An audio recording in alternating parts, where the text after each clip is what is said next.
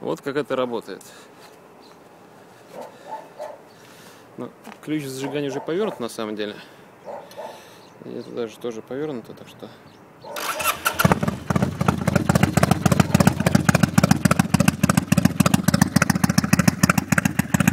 Он еще не очень прогрелся.